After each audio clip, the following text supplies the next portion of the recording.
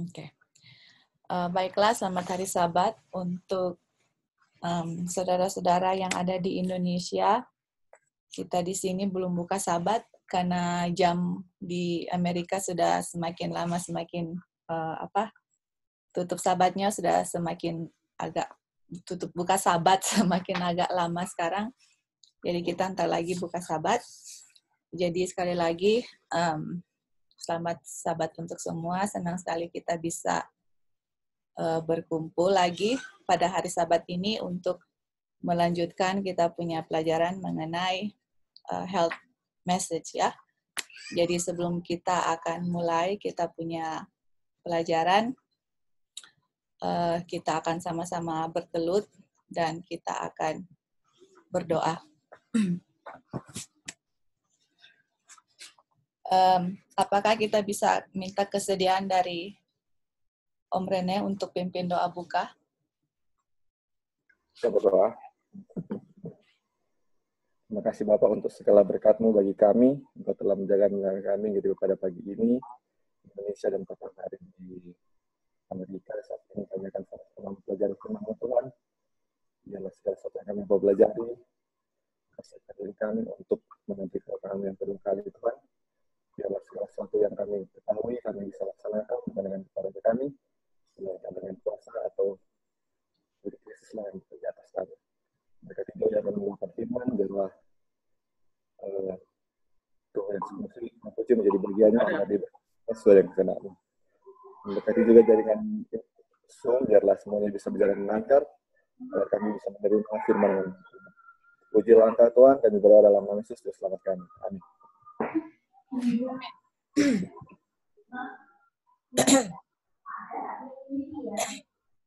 Oke, jadi pada saat ini, selamat sahabat sekali lagi, kita akan melanjutkan kita punya pelajaran pada sahabat lalu uh, mengenai kita punya pelajaran mengenai fitment. Jadi ini adalah bagian kedua dan kita akan selesaikan kita punya pelajaran pada saat ini ya. Dan seperti biasa, sesudah pelajaran ini ada uh, teman kita yang akan mau present mengenai herbal pada saat ini. Jadi kita akan mulai saja ya supaya semua bisa berjalan sesuai pada waktunya. Oke, okay. apakah bisa lihat kita punya share screen? Bisa, bisa. Bisa.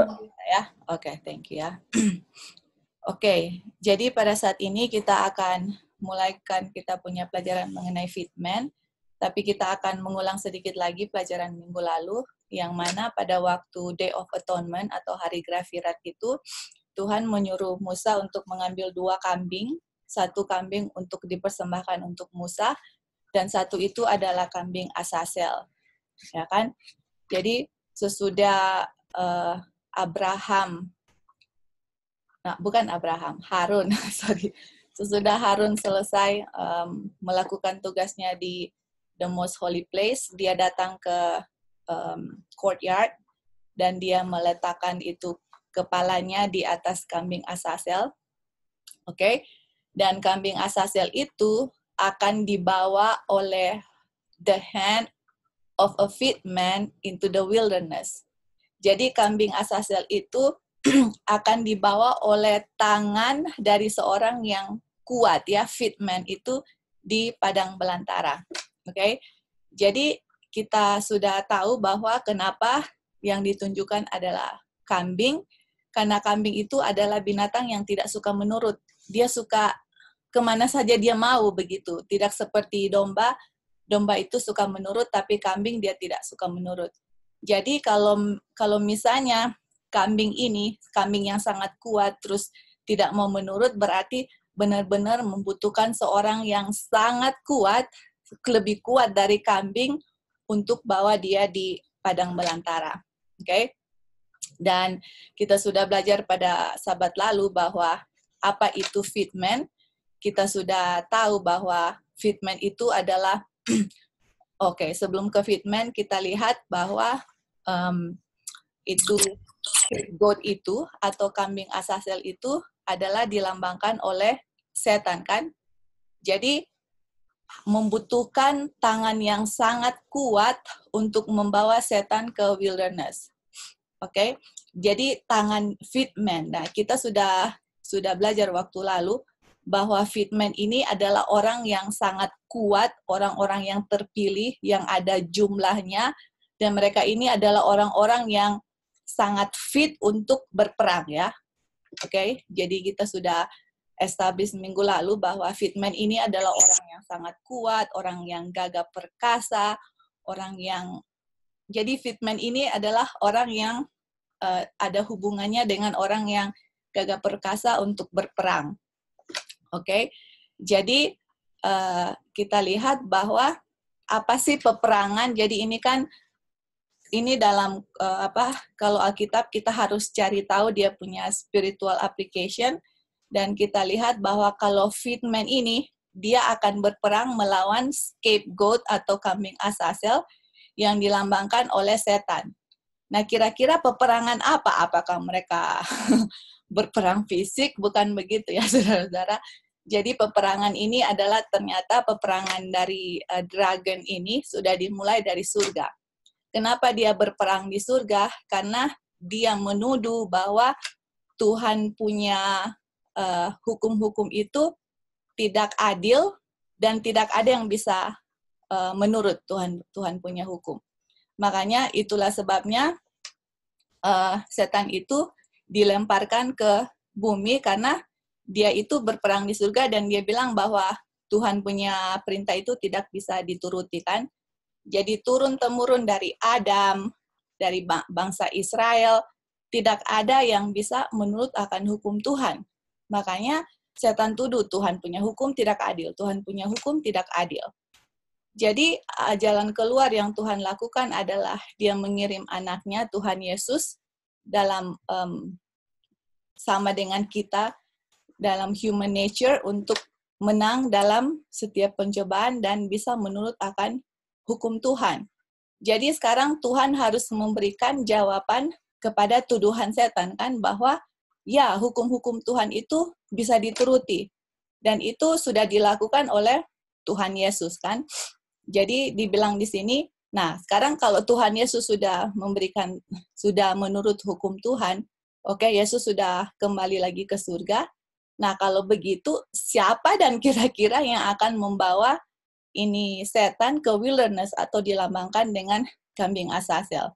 Nah, kita lihat di sini bahwa orang-orang yang akan membawa kambing asasel itu di padang belantara itu adalah orang-orang the remnant atau 144,000.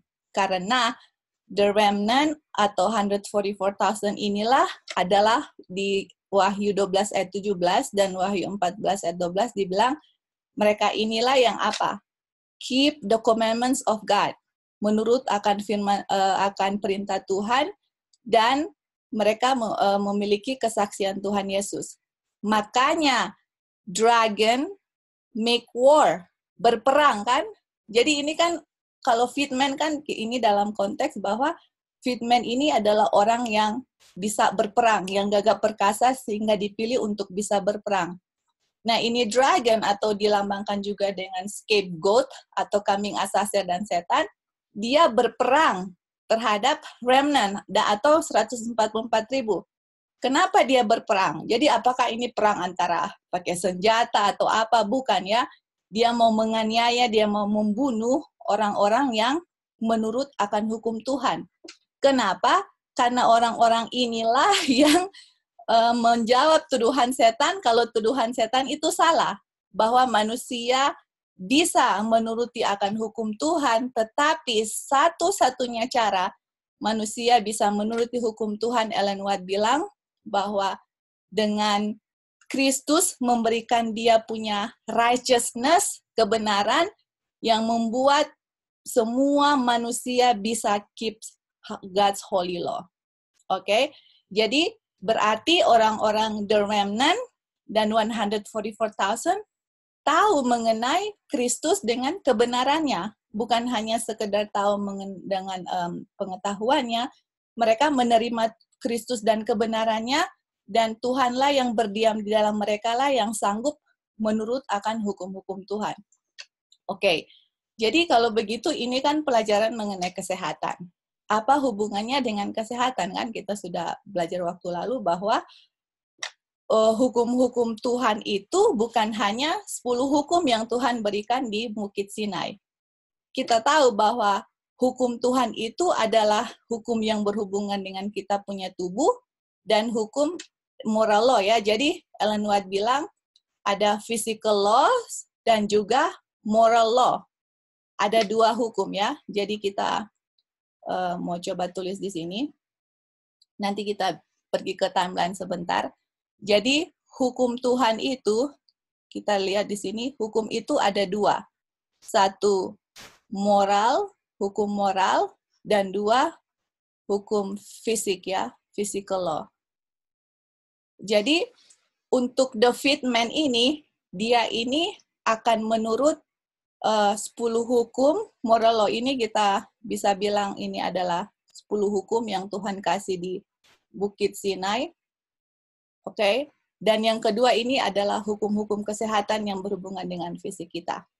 Jadi kita lihat di sini bahwa orang yang fit man ini dia itu tidak berdosa dalam 10 hukum dan juga dalam hukum kesehatan. Iya kan? Jadi kita lihat di sini bahwa orang yang fit man ini yang akan membawa uh, kambing asasel itu di padang belantara ini adalah orang-orang yang tidak ada cacat dosa secara menurut hukum Tuhan, secara hukum moral, dan tidak pernah melanggar hukum kesehatan.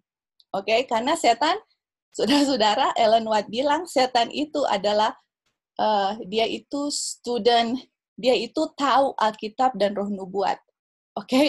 jadi istilahnya kalau setan tahu Alkitab dan Roh Nubuat, dia lebih tahu hukum-hukum kesehatan yang Tuhan berikan kepada manusia. Dan setiap saat dia lihat, dia akan, awasi, oh ini dia masih begini, dia ini masih melanggar ini. Dia ini nggak bisa jadi 144,000, dia nggak bisa jadi remnant, dia nggak bisa jadi fit man, karena dia masih melanggar hukum Tuhan. Jadi setan tahu saudara-saudara, oke? Okay? Jadi kita lihat di sini bahwa uh, Ellen White bilang adalah dosa kalau kita melanggar hukum-hukum uh, tentang kita punya tubuh sama seperti kita melanggar 10 hukum. Jadi kalau kita melanggar hukum kesehatan, kita juga sama dengan melanggar 10 hukum. Karena melanggar hukum kesehatan kah? Ini dia kan melanggar hukum kesehatan atau hukum yang moral itu itu sama dengan melanggar hukum Tuhan karena Tuhanlah yang memberikan hukum kan oke jadi dan di sini juga dibilang bahwa um, setiap kali kita salah gunakan bagian dari tubuh kita atau kita salah kita abuse atau salah gunakan kita bagian-bagian dari tubuh kita ini itu adalah melanggar akan hukum. Bayangkan ya, saudara-saudara. Jadi um, persyaratan untuk menjadi fitman itu tidak gampang. Memang tidak gampang karena dialah yang akan membawa kambing asasel itu ke wilderness ya. Oke, okay. jadi dibilang di sini karena dia bilang karena hukum-hukum kesehatan itu adalah hukum Tuhan, maka kita punya tugas, kita harus belajar dengan sangat sungguh-sungguh. Oke, okay? jadi Ellen White bilang, ini hukum kesehatan ini, karena ini hukum Tuhan, kita jangan main-main dengan hukum ini, iya kan? Terus dia bilang, kita harus belajar apa yang tubuh kita minta dan dibil dan harus menurut ya tentang hukum kesehatan.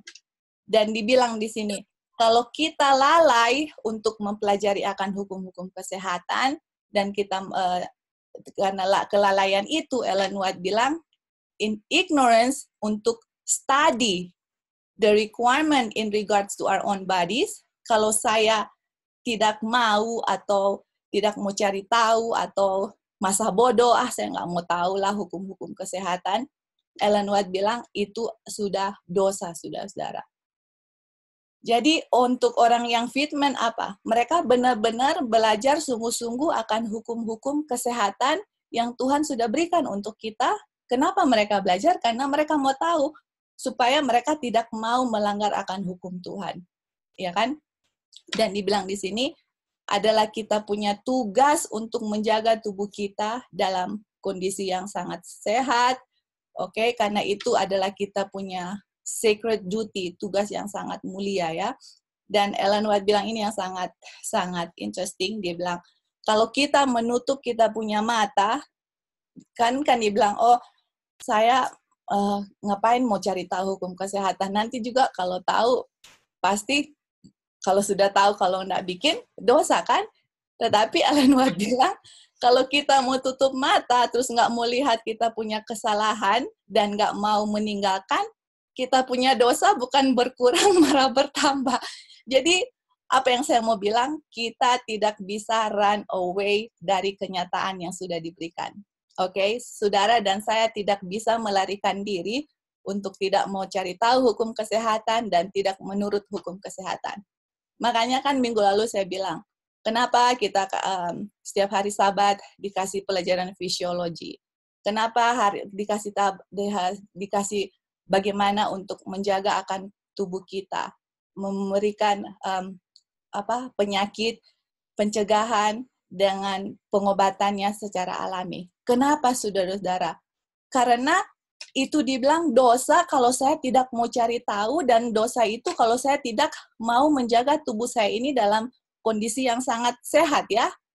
Dan kalau saya nggak mau cari tahu akan um, apa hukum kesehatan, dan saya menutup mata itu itu White bilang kita punya dosa bukan berkurang malah bertambah ya. Jadi ini adalah suatu Tuhan punya peringatan dengan cinta kasih yang dia berikan kepada kita sebelum pintu kasihan ditutup yang mana Tuhan itu sangat mencintai saudara dan saya. Dia mau kita semua selamat. You know, dia mau kita semua sehat untuk menjadi fit man. Fit man itu orang kuat secara moral dan fisik tidak ada cacat dosa dari orang yang fitman ya. Jadi kita punya tugas di sini adalah untuk saling mengingatkan kita karena saya sendiri yakin bahwa dengan mempelajari nubuatan sudah tidak lama lagi saudara-saudara kita hidup di dunia ini. Sudah tidak lama lagi pintu kasihan kita akan ditutup. Makanya Tuhan dengan dia punya mercy mengirimkan pekabaran kepada kita, pekabaran malaikat pertama, kedua, dan ketiga, dan ditambah lagi dengan medical missionary. Istilahnya apa sih yang saudara dan saya belum terima selama ini gitu loh. Walaupun kita punya pelajaran medical missionary masih kalau mau dibilang masih baik ya, masih masih banyak hal-hal yang harus kita pelajari. Tapi dengan kita mempelajari pelajaran medical missionary, hukum kesehatan, penyakit, dan cara uh, pencegahan penyakit, pengobatan mengenai natural treatment, saya harap saudara-saudara take it serious. Take it serious karena ini menyangkut keselamatan saudara dan saya. Kalau kita nggak mau tahu mengenai kesehatan saudara-saudara, Ellen White bilang itu sudah dosa. Karena itu kita punya tugas untuk mencari tahu bagaimana saya punya tubuh ini sehat. Oke, okay?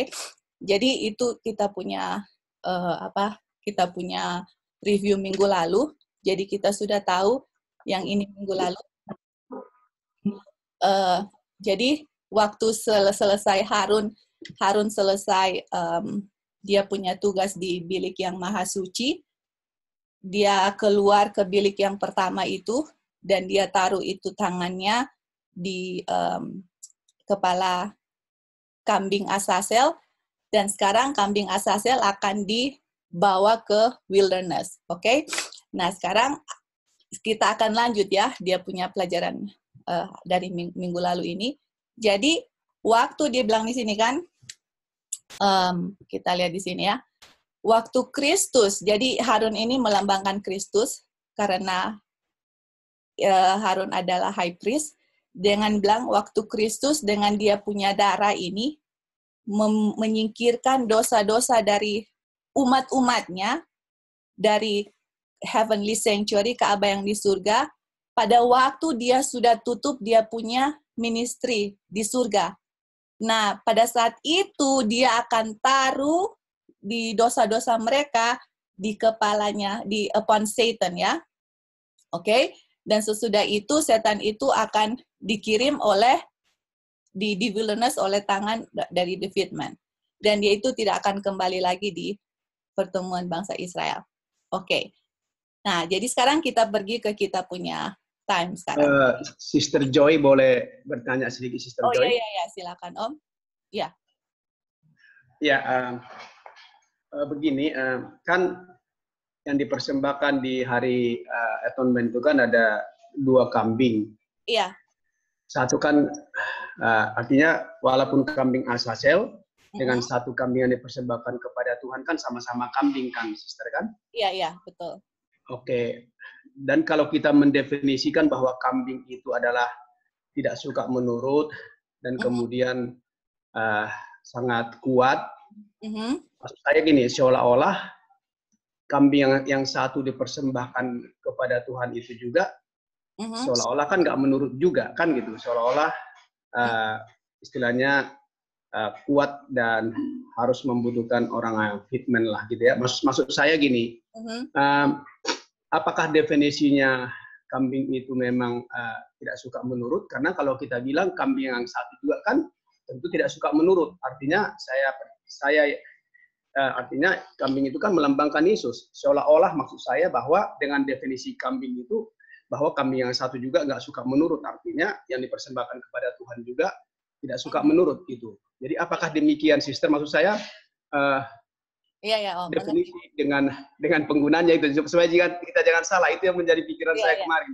Iya iya iya. Kemudian uh, kenapa kenapa kambing uh, biasanya kan dipersembahkan bahkan untuk pengasah bukankah domba gitu, tapi mungkin di hari gerak-gerak kambing gitu kali ya. Jadi maksudnya apa hmm. sih perbedaannya gitu supaya kita jangan uh, salah persepsi gitu. Karena kami yang satu juga ini dipersembahkan untuk Tuhan juga kan seolah-olah nanti nggak nggak menurut padahal kambing itu melambangkan Yesus itu tidak bercatat ataupun Yesus kan penurut gitu loh dan itu maksud iya, saya. Iya iya iya kita mengerti sekali Om Om Sudung punya pertanyaan. Yeah.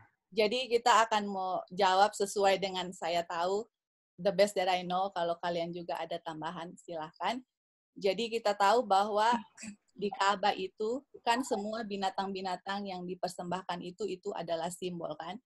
Jadi ada ada kambing, ada domba, kita lihat juga ada burung kalau orang miskin. Jadi um, macam-macam lah ya dia punya simbol. Oke. Okay. Jadi kalau saya lihat di sini yang yang Ellen White tulis di sini bahwa yang diambil dari kambing itu itu bukan diambil dari karena dia punya ketidakmenurutan atau apa itu kan di sini dia bilang diambil dia dia by the virtue of his own blood jadi walaupun kambing ini adalah binatang yang memang kalau mau compare ya dia punya perbandingan dengan domba domba ini adalah binatang yang suka menurut tetapi kenapa dipilih kambing? You know, sebenarnya untuk kalau saya mau melihat dari kambing compare dengan domba, to be honest Om, kita nggak bisa jawab kenapa dipilih kambing, karena itu kita nggak tahu ya kalau saudara ada jawaban, tapi boleh mau boleh jawab. Iya ya, tunggu Om Victor, kita bilang bisa selesai dulu baru Om Victor. Itu let me just finish my thought baru kita kasih ke Om Victor ya. Jadi um, istilahnya to be honest kalau nanti mungkin Om Victor ada tambahan, saya nggak tahu kenapa persis Tuhan harus pilih kambing. Yang saya tahu yang diambil dari kambing itu adalah darahnya, oke? Okay? Dan kenapa yang saya tahu, yang yang saya tahu one thing for sure, kenapa kambing itu? Karena kambing itu melambangkan binatang yang tidak suka menurut dan akan dibawa oleh tangan fitman berarti di situ menunjukkan bahwa betapa untuk menjadi fitman itu adalah orang yang harus sangat kuat.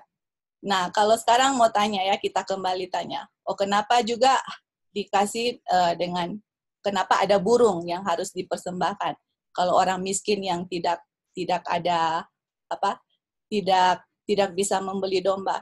Nah, itu dia saya tidak tahu jawabannya itu kenapa yang one thing saya tahu bahwa Tuhan itu melihat uh, darah dari binatang itu yang melambangkan akan kehidupan Tuhan Yesus. Dan for sure kalau kita mau bilang kambing itu sama dengan Tuhan itu itu enggak ya. We cannot take it karena yang melambangkan binatangnya itu sama dengan Tuhan itu adalah domba. Tapi anyway, kita ke Om Victor dulu baru nanti kita balik lagi ke Om Sudung. Ya Om, silakan Om Victor. Oke, makasih. Selamat hari sahabat. Selamat pagi. Uh -uh. Uh, kita tahu memang Tuhan Yesus tidak dilambangkan sebagaimana kambing. Tapi yeah. kita ambil dia punya urutan dulu ya. Kenapa Tuhan Yesus dilambangkan? Uh, kenapa orang yang miskin harus mem mempersembahkan Burung. apa namanya? Uh, merpati atau terkukur ya. Kalau orang yang sangat susah sekali mereka harus tangkap terkukur. Kalau merpati kan masih dibeli juga, tapi kalau terkukur nggak perlu beli. Kenapa? Merpati dan terkukur sama. Dia adalah melambangkan uh, karakter Kristus, ya. Mm -hmm.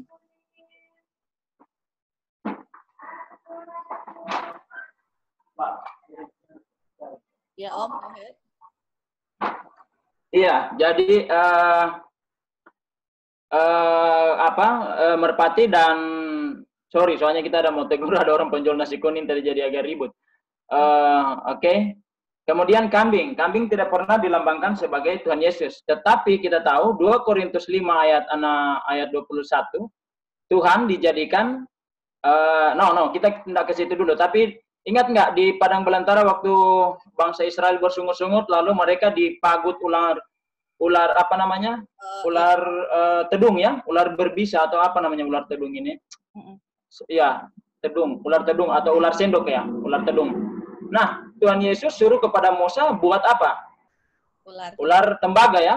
ya, ya. Ular tembaga atau ular tedung uh, yang terbuat dari tembaga lalu ditaruh di salib. Kemudian siapa yang memandang itu mereka akan diselamatkan. Apakah Tuhan Yesus dilambangkan dengan ular? Hmm. Tentu tidak, tapi ada maknanya. Kita akan kita tahu itu di dalam buku uh, sejarah para nabi ya. Hmm. Sejarah para nabi jilid uh, satu. Ketika bangsa Israel be, eh, ketika itu Tuhan Yesus uh, dilambangkan dengan apa? Uh, ular. Tapi ular melambangkan apa? Dosa ya, setan. Nah kita tahu ular melambangkan dosa. Tuhan Yesus di di 2 Korintus uh, 5 ayat 21 dia yang tidak mengenal dosa dijadikan apa? Dosa. Dosa. Apa yang dijadikan? Bapak. Karena dia mengambil dosa seluruh dunia, dosa saudara dan saya. Itu sebabnya Tuhan Yesus pun dilambangkan sebagai ular tembaga. Dan Tuhan Yesus pun dilambangkan sebagai apa? Kambing. Tapi bukan kambing asasil, tapi kambing melambangkan karakter manusia yang sudah jatuh dalam dosa. Kenapa? Karena Tuhan Yesus dijadikan dosa. Artinya dia mengambil itu menggambarkan bahwa seluruh dunia punya dosa dia tanggung. Hmm. Tapi apakah Tuhan Yesus yang dilambangkan itu? Bukan. Itu karena melambangkan kemanusiaannya yang menanggung dosa dunia sehingga harus dilambangkan sebagai kambing. Nah, itu ada di penjelasan juga di sejarah para nabi. Oke. Okay. Jadi selamanya Tuhan Yesus digambarkan sebagai apa? Domba. Tapi kenapa harus kambing? Karena itu dia punya kondisi manusia yang sudah jatuh ke dalam dosa yang harus ditanggung oleh Kristus. Dosa-dosa itulah yang sesuai 2 Korintus 5 ayat 21. Itu yang membuat harus ada yang digambarkan dengan kambing asasel. Jadi di dalam pengantaraannya dosa seluruh umat manusia itu bisa dihadapkan kepada Bapa melalui kematian Kristus yang dilambangkan oleh kambing itu juga. Di saat yang sama ada kambing asasel. Dosa yang sudah ditanggung oleh Kristus dipindahkan ke kambing asasel dan dibawa ke padang belantara ya. oleh orang yang sudah dikhususkan. Itu tambahan. Terima kasih Om Victor, puji Tuhan. Thank you Om atas jawabannya. Saya sangat setuju sekali dengan jawabannya. Dan kita mau tambah juga bahwa di Alkitab juga Tuhan Yesus kan disamba, dilambangkan dengan juga singa kan dari keturunan Yahuda. Dan setan juga dilambangkan dengan singa yang mengaum-ngaum. Jadi tadi juga yang apa ular. Jadi itu um, bukan berarti gara-gara dipilih kambing terus Tuhan Yesus punya karakter sebagai sama Ya, kasih kuat sedikit. Oh, oke. Okay. Jadi yang tadi Om Victor juga bilang bukan berarti dipilih kambing makanya Tuhan punya karakter sama dengan kambing, bukan bukan begitu ya. Jadi Tuhan Yesus di Alkitab itu banyak dia punya simbol seperti singa dan juga tadi waktu bangsa Israel dipatuk oleh ular, di, uh, dibikin ular tembaga dan melihat ke situ dan itu dilambangkan kalau melihat kepada Tuhan Yesus akan diselamatkan. Jadi itu uh, simbol-simbol yang ada di Alkitab. Uh, jadi gimana Om Sudung? Hilang-hilang di suara. Apakah Simbol hilang? tenggelam. Oh, Oke. Okay. Apakah bagus, saya bagus, bagus. Bagus, oh, oke. Okay. Mungkin Om Victor punya internet Om yang mungkin ada kurang bagus. Iya di Klea kurang bagus DP internet. Iya iya iya, thank you kak. Oh gitu ya. Saya pikir cuma DP suara naik turun, enggak hilang-hilang, cuma namanya naik turun dan DP gelombang itu. Iya iya Om. Yang lain bisa dengar Om, jadi mungkin. Uh... Nah itu sudah bagus. Oke. Okay. Kita mau tanya Om Sudung, apa apa itu bisa menjawab pertanyaannya Om? Uh, mohon maaf sih, yeah. Ya. artinya begini, um, yeah. kita harus mempunyai sama persepsi kalau belajar kan, sister. Jadi uh, um, artinya uh, nothing personal, artinya kita belajar karena saya kan ingin bertanya kan gitu ya. Iya iya.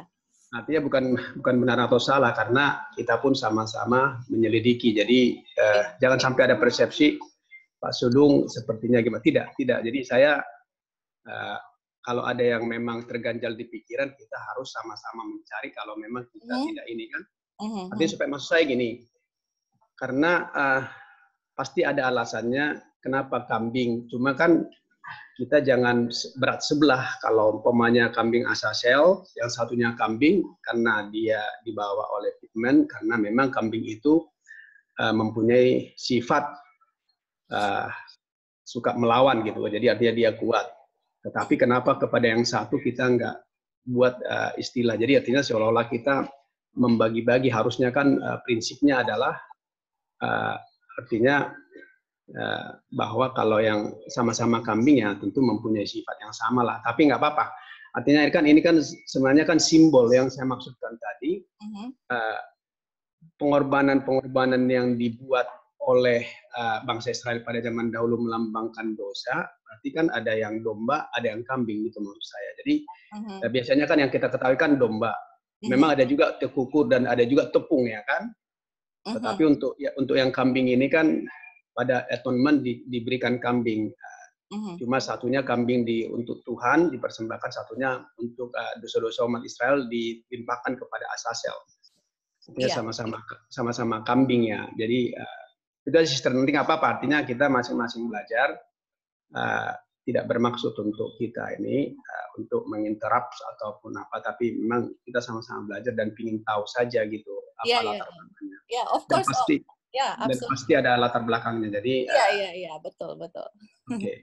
Iya. Terima kasih, Sister. Silakan dilanjutkan, Sister. Ya, terima kasih, Om Sudung. Uh, dengan orang bertanya kan, dengan orang bertanya itu bisa kita lebih mengetahui mendalam akan firman Tuhan tapi yang itu jawaban yang the best yang saya bisa kasih dan Om Victor juga sudah kasih kalau misalnya in the future um, uh, Sudung ada penjelasan mengenai ini kita Om, Om Sudung bisa share ya hanya itu yang so far yang saya bisa kasih jawabannya saya tidak tahu exactly kenapa harus kambing atau apa yang saya tahu itu semua hanya ada simbol ular bisa dilambangkan setan di, itu Tuhan Yesus lion setan dengan Tuhan Yesus. Jadi it's just a symbol tergantung di mana kita bisa melihat itu simbolnya apa gitu ya.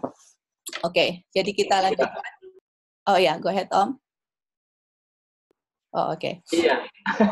uh, lanjut kita cuma bilang iya tadi betul. Oh iya ya. Oke okay, oke, okay. thank you Om Victor. Oke, okay, jadi pada waktu uh, Harun punya ministry sudah selesai yang itu di the Day of Atonement, uh, itu dilambangkan dengan uh, apa Tuhan Yesus kan dan kita lihat itu yang di zaman kita sekarang ini nanti akan terjadi di Daniel 12 ayat 1 kita sudah tahu ayat ini dibilang pada saat itu Michael akan stand up itu the great great prince itu prince yang sangat besar dia akan berdiri untuk the children of thy people untuk uh, umat-umatnya ya Nah, pada waktu Michael stand up, apa dibilang di sini? Akan ada time of trouble. Itu yang saya itu yang saya mau emphasize sekarang ya. Jadi kita lihat bahwa pada waktu um, Harun meletakkan tangannya di atas kepala kambing Asasel dan pada waktu itu juga melambangkan tugas Tuhan Yesus di surga sudah selesai, dia sudah berdiri, itu akan terjadi masa kesukaran, time of trouble ya. Kita nggak mau baca selanjutnya karena hanya saya mau emphasize di sini. Oke, okay, kita baca eh, apa Ellen White bilang. Waktu Kristus selesai, dia punya pekerjaan sebagai perantara demi uh, manusia, perantaranya untuk untuk kita demi kepentingan kita. Kita lihat di sini bahwa then this time of trouble begin. Oke. Okay. Dan setiap kasus dari uh, setiap manusia akan ditentukan dan tidak ada lagi atoning blood untuk membersihkan dia dari dosa-dosa. Oke. Jadi kita sudah tahu bahwa pada waktu Tuhan Yesus sudah selesai dia punya pekerjaan itu, itulah time of trouble. Oke, okay? jadi pada waktu ini kambing Asasel yang akan dikirim ke wilderness itu terjadinya pada waktu time of trouble. Oke, okay? jadi kita akan lihat di sini. Uh, kita lihat di sini ya, kita sudah gambar tadi um, apa kita punya timeline.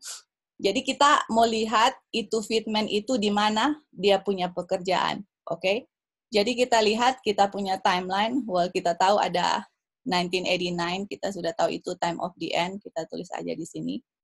Time of the end 1989, terus habis itu 9/11, Midnight, Midnight Cry, Sunday Law, habis itu nanti kan uh, Universal Sunday kita nggak tulis karena it's it's Sunday aja. Terus habis itu Michael stand up. Nah, pada waktu Michael stand up di sini atau dia sudah selesai dia punya tugas di Ka'bah dan waktu itu kan dilambangkan habis itu Harun taruh itu tangannya di atas kambing Asasel dan juga melambangkan bahwa Tuhan Yesus menaruh semua dosa-dosa orang yang sudah bertobat di atas kepala setan Nah, dan sesudah itu Alkitab bilang dengan roh nubuat adalah time of trouble.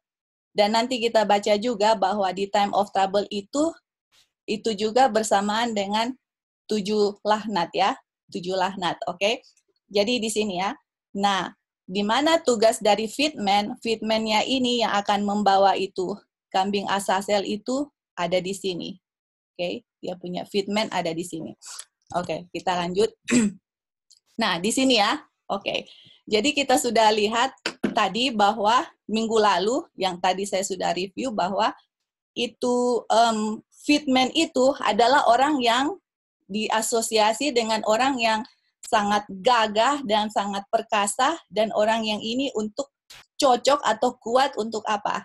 Berperang ya.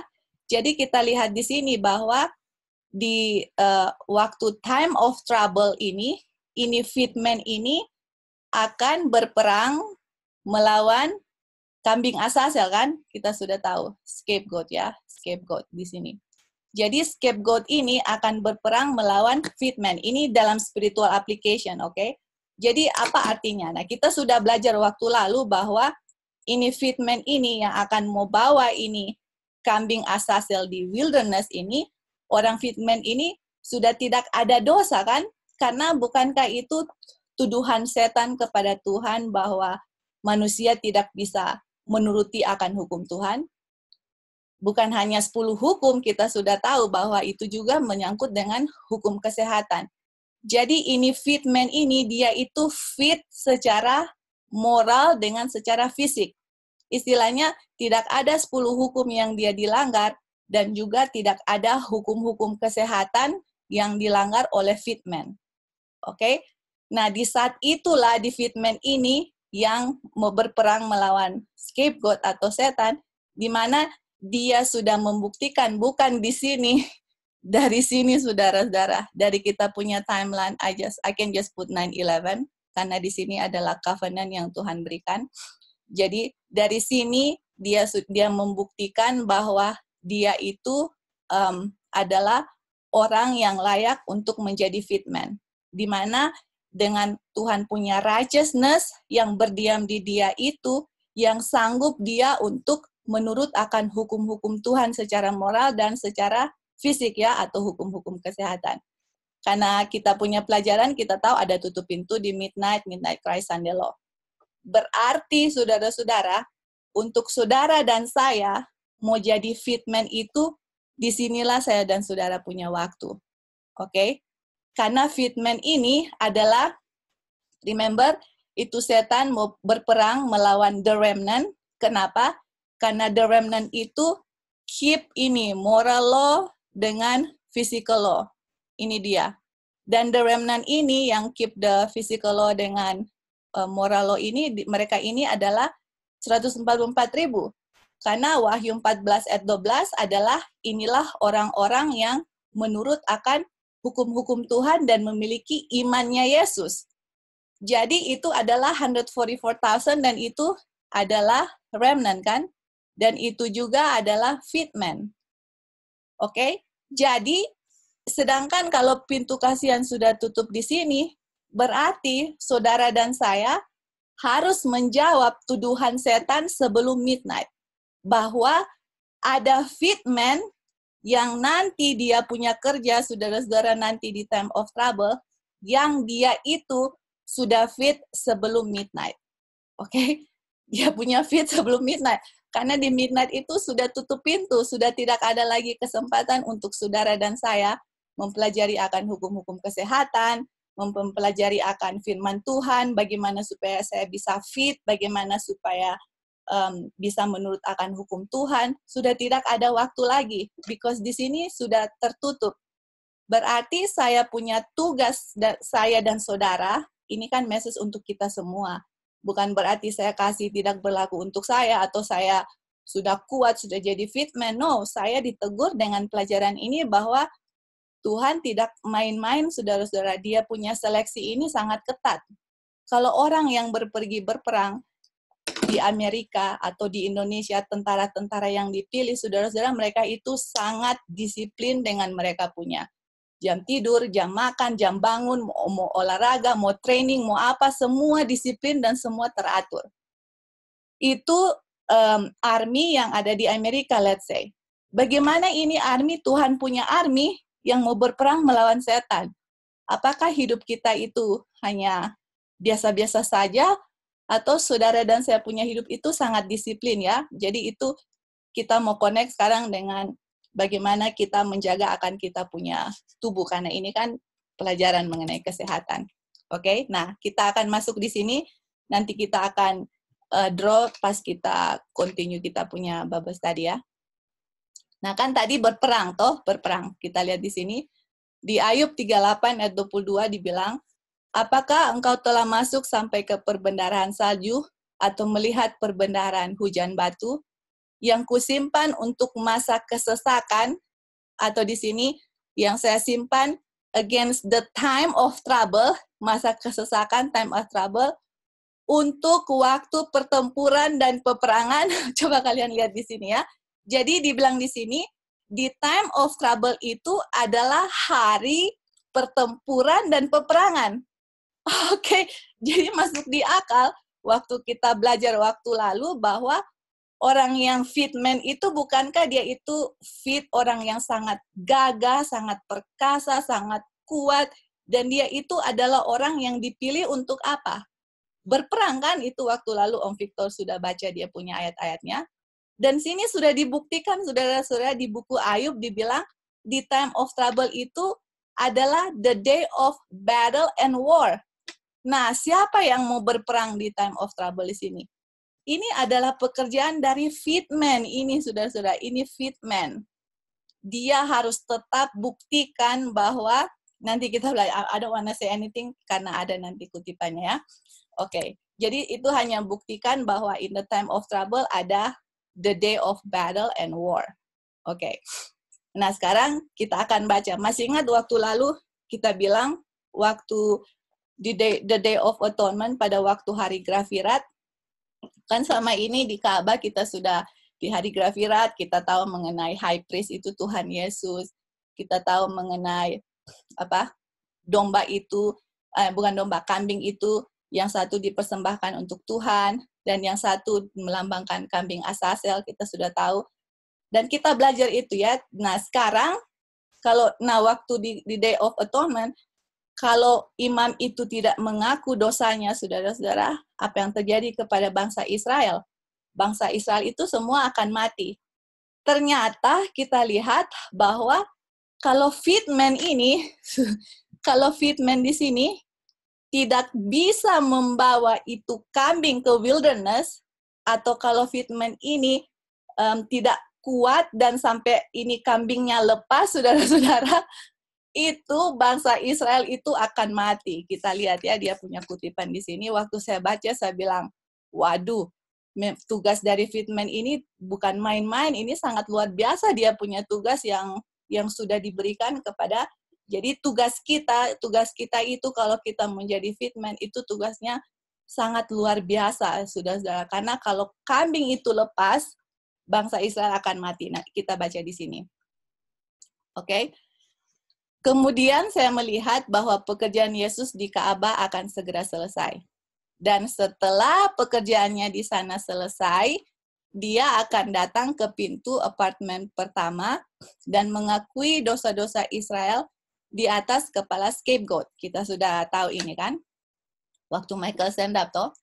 Kemudian dia akan mengenakan pakaian pembalasan, garments of vengeance.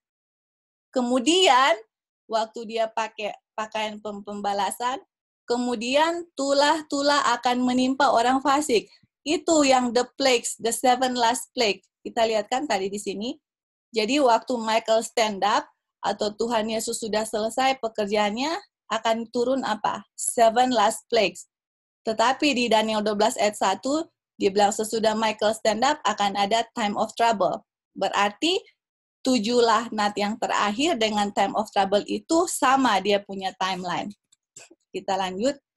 Dan itu tidak akan datang sampai Yesus mengenakan pakaiannya, pakaian pembalasan itu, dan mengambil tempatnya di atas awan putih yang besar. Nah, ini dia kita kita kasih besar-besar supaya kita lihat. Kemudian pada saat tula-tula itu jatuh, apa yang terjadi? Scapegoat sedang dibawa pergi. Waduh. Jadi waktu seven last plagues atau time of trouble itu, oke, okay, itu scapegoat itu sedang dituntun oleh Fitman ke padang belantara. Kita lihat ya. Nah, kok coba kita lihat dia atau skateboard ini berjuang keras untuk melarikan diri. Remember tadi yang minggu lalu juga kita sudah bilang bahwa itu kambing itu dia tidak binatang yang tidak menurut. Jadi dia bilang di sini dia mau berusaha untuk melarikan diri. Ini ini scapegoat kambing Asasel. Tetapi puji Tuhan dia dipegang erat oleh tangan fitman saudara-saudara yang menuntunnya. Aduh, wow jadi oh wow. Jadi ini kambing ini dia nggak bisa lari dia dipegang kuat oleh fitman yang aduh fitman ini struggle juga dengan dengan apa dengan ini kambing ya. Coba lihat ini ini yang saya mau bilang ini yang saya bilang minggu lalu. Jika ini scapegoat melakukan pelariannya apa yang terjadi? Israel akan kehilangan nyawa mereka. Waduh dan kita lihat di sini, saya melihat bahwa perlu waktu untuk membawa scapegoat ke tanah pelupa setelah dosa-dosa diletakkan di kepalanya. Jadi saudara-saudara, kalau ini yang saya mau tekankan ya, berarti waktu lalu kita sudah belajar yang uh, sudah dibaca di ayat-ayatnya, ini fitman ini kan sangat kuat, dia bisa berperang, satu orang bisa mengalahkan beratus-ratus orang, beribu-ribu orang, jadi istilahnya ini kambing ini memang harus dibutuhkan orang yang sangat kuat untuk membawa dia kan. Ini ini ini scapegoat ini kambing asasel nggak bisa lari saudara-saudara. Dia harus dibawa di padang belantara. Kalau dia lari atau kalau scapegoat itu melarikan diri, itu bangsa Israel akan kehilangan nyawa mereka. Dibilang di sini Israel would, would lose their lives. Jadi kehidupan bangsa Israel itu pun bukan um, apa untuk bangsa Israel itu tidak hanya ditentukan oleh imam besar, ternyata itu juga ditentukan oleh siapa? Fitman ini ya, ini fitman. Jadi berarti saudara-saudara kita mau bilang, berarti waktu waktu fitman bawa ini kambing asasel di padang belantara, isn't it orang Israel kayak dengan anxious, aduh mudah-mudahan ini fitman bisa bawa ini kambing, mudah-mudahan kambing ini tidak melarikan diri. Karena kalau sampai itu terjadi mereka akan mati. mengerikan juga ya. Maksudnya berarti ini satu dia punya ini kan yang ya, di zaman bangsa Israel. Dan kita lihat itu semua simbol yang akan terjadi di saat kita. Berarti saudara-saudara kita mau bilang bahwa um, itu uh, apa namanya istilahnya ini keselamatan dari orang yang sudah mati. Selain Tuhan Yesus sudah mati untuk mereka oke? Okay? jadi dari dari Habel sampai orang-orang yang suci yang sudah mati itu itu juga tergantung nanti di, di tangan dari fitman. Kalau kalian nanti kita lihat ya di Ibrani 11 nanti kita akan baca di Ibrani 11 karena kalau saudara dan saya gagal nanti in the time of trouble atau waktu tujuh laknat itu turun kita akan lihat gagalnya apa ya. Nanti kita akan baca di sini. Orang bangsa Israel akan kehilangan nyawanya. Oke, jadi Tuhan lagi seluruh alam semesta lagi menunggu orang-orang fitman ini yang akan dibentuk untuk menjawab tuduhan tuduhan setan kepada untuk menjawab tuduhan setan bahwa manusia itu bisa menurut hukum Tuhan kalau Tuhan punya righteousness sudah ada di mereka baik menurut hukum 10 hukum maupun hukum-hukum kesehatan. Oke, okay?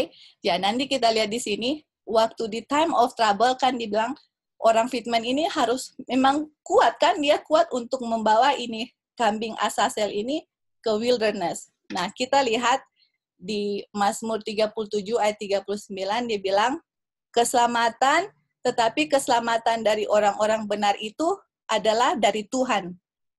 Tuhan itu adalah mereka punya kekuatan di mana the time of trouble. Waduh, jadi saudara-saudara, di mana ini fitman ini memperoleh kekuatannya, saudara-saudara, ini fitman ini kita mau bilang sudah biasa bergantung kepada Tuhan sebagai sumber kekuatannya, bukan dari time of trouble, tapi sudah bergantung kepada kekuatan Tuhan dari sini sebelum midnight. Kekuatan Tuhan untuk apa?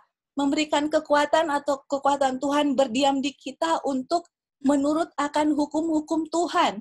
Jadi kalau kita belajar nanti hukum-hukum kesehatan atau pelajaran kesehatan, kenapa saya harus bikin ini, bikin itu, saudara-saudara, kita harus mengundang Tuhan dalam diam di dalam kita untuk ada penurutan kalau kita tidak biasa membuat Tuhan itu sumber kekuatan kita, jangan kita pernah bermimpi untuk menjadi fitman. Karena kalau di sini aja saya gagal, how much more the time of trouble. You know I'm saying? Like, di sini aja belum ada apa-apa, istilahnya belum ada pressure, ataupun ada pressure tapi mau bandingkan dengan time of trouble, you know. Kita mau kasih satu cerita yang kita baca di Ellen White mungkin kalian pernah baca juga bahwa waktu uh, Ellen White dikasih kesempatan dan dikasih kekuatan untuk melihat time of trouble. Jadi waktu dia dengan dia punya accompanying angel, jadi dia bilang oke okay, dia pingin apa dia mau lihat itu time of trouble. Jadi Ellen White dikasih kekuatan untuk melihat apa yang akan terjadi di time of trouble. Waktu Ellen White dikasih kekuatan untuk melihat time of trouble, waktu dia lihat time of trouble, di mana murka Tuhan turun kepada orang-orang yang jahat, yang di mana dia bilang, kalau misalnya, pokoknya, oke, okay, I don't wanna say anything, nanti one of this day kita share ya. Jadi, waktu dia lihat dia punya penglihatan itu di time of trouble, Ellen White bilang, dan dia melihat akan murka Tuhan, Ellen White bilang apa asal kepada angel itu, dia bilang, oke, okay, stop, stop, saya nggak mau lihat lagi. Karena ini penglihatan sangat mengerikan, Ellen White bilang. Di situ dia tulis. Makanya di Daniel 12 ayat 1 dia bilang, time of trouble such as never was since there was a nation. Jadi kalau Ellen White bilang, kalau kita pernah bayangkan sesuatu peristiwa yang mengerikan, itu tidak ada perbandingannya dengan time of trouble. Nah, bayangkan di sini, nanti saudara-saudara, kalau saya tidak bergantung terus kepada Tuhan untuk sumber kekuatan saya, di mana di time of trouble di sini sedangkan Ellen White dia bilang kita nggak sanggup melihat ini pemandangan time of trouble. I cannot endure. Dia punya side ini sangat sangat mengerikan sampai dia aja bilang sama malaikat, stop, saya nggak mau lihat lagi. Terlalu mengerikan untuk saya lihat. Nah di sini saudara-saudara, ini di saat itu saudara-saudara dan saya, you know, kalau Tuhan kehendaki ya untuk jadi 144,000, yang penting kan Ellen White bilang, strive to become 144,000 itu aja pemandangannya sangat mengerikan. Terus Fitman ini harus membawa kambing Asazel di padang berantara. Bagaimana kira-kira saudara-saudara, apakah tidak memang betul-betul memerlukan Tuhan sekali? Dan kalau saya di sini tidak biasa bergantung kepada Tuhan, membuat Tuhan itu sumber kekuatan saya, forget about fitment di sini. Di midnight aja sudah kalah, you know. We cannot we cannot pass midnight Nah, apalagi mau di time of trouble. Makanya saya bilang bahwa ini jadi fitman bukan main-main. Dia fitman ini sudah saudara dia punya kekuatan hanya dari Tuhan dan dia sudah biasa bergantung kepada Tuhan sebagai kekuatannya. Dia sudah tahu bahwa hanya Kristuslah yang memberikan kekuatan kepada dia. Oke, okay? dua ayat ini ya. Oke, okay, jadi sekarang saya punya pelajaran nggak banyak, kita akan selesaikan uh, cepat hari ini karena nanti sesudah ini kita akan mempelajari mengenai herbal juga dari teman kita ya. Oke. Jadi di sini dibilang ya. Oke. Nah, sekarang di di di time of trouble sebenarnya apa sih yang terjadi dengan fitman dengan setan? Apa, sih sebenarnya di sini? Oke, kita akan baca. Di Patriarch and Prophet dibilang di situ pengalaman Yakub pada malam pergulatan dan penderitaan melambangkan ujian yang mana umat Tuhan harus melaluinya tepat sebelum kedatangan Kristus yang kedua kali. Oke, kita sudah tahu kan bahwa time of trouble itu sama juga dengan Jacob's trouble. Makanya hmm. Ellen White bilang bahwa pengalaman Yakub pada waktu dia struggle, you know, waktu dia bergulat, dia wrestling dengan pada malam itu itu adalah lambang ujian di mana kita umat-umat Tuhan harus melaluinya sebelum kedatangan Kristus yang kedua kali. Oke. Okay? Nah, nanti kita lihat akan pengalaman Yakub dan kita akan compare dengan dengan the fitman ya. Dia bilang di sini, Nabi Yeremia dalam penglihatan yang suci, penglihatan suci yang melihat pada zaman ini berkata, jadi memang harus ada istilah dilarikan kembali dulu. Apa Om? Gimana Om?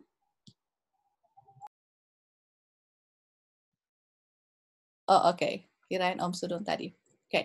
jadi dibilang Nabi Yeremia dalam penglihatan yang suci melihat pada zaman ini, di zaman kita ini, berkata, kami telah mendengar suara gemetar, takut dan tidak ada damai. Semua wajah berubah menjadi pucat Terus dia bilang, celaka karena hari itu hebat sehingga tidak ada yang seperti itu. Wow, jadi waktu Yeremia melihat di zaman kita, Yeremia bilang itu dia lihat suara gemetar, ketakutan, tidak ada peace, sampai orang-orang punya muka jadi pucat. Makanya Yeremia bilang celaka. Kenapa celaka? Karena hari itu hebat seperti tidak sehingga tidak ada yang seperti itu. Tidak ada hari seperti itu, saudara-saudara. Makanya Ellen White bilang, saya nggak bisa tahan di time of trouble. Dia sampai bilang kepada malaikatnya, stop ini, kita nggak mau lihat lagi. It is too dreadful, kayak sangat mengerikan. Yeremia aja bilang, alas, atau celaka. Itu apa? Itu masa kesusahan Jacob atau time of Jacob's trouble. Tetapi uh, dia akan diselamatkan dari itu ya. Jadi kita lihat bahwa pengalaman Yakub waktu uh, dia ber, ber, ber wrestling dengan dia punya penderitaan itu kan dibilang ujian untuk umat-umat Tuhan kan yang mereka harus lewati sebelum kedatangan Kristus dan itu adalah pada masa time of trouble itu sangat mengerikan ya. Sudah ada dua bukti. Ellen White yang bilang dia tidak bisa melihat itu. Yeremia bilang semua muka akan pucat, gemetar, ketakutan. Daniel bilang itu time of trouble yang tidak pernah ada sejak ada bangsa di dunia ini. Bayangkan saudara-saudara, dan itulah di saat itulah fitman lagi bekerja untuk membawa kambing Asasel.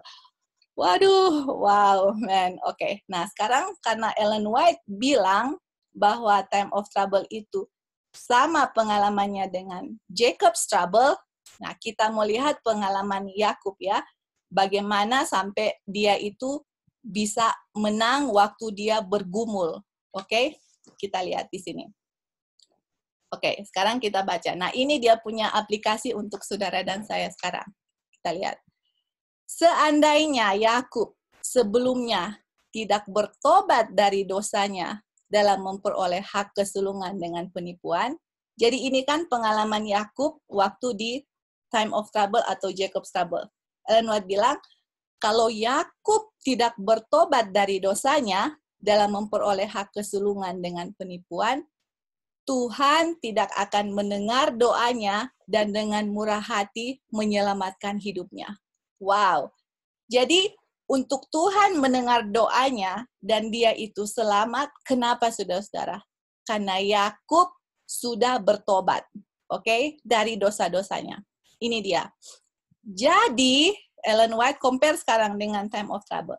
Jadi, pada masa kesukaran atau time of trouble, jika umat Tuhan telah melakukan dosa yang belum diakui dan muncul di, di benak mereka ketika disiksa dengan ketakutan dan kesedihan, mereka itu akan tertindas.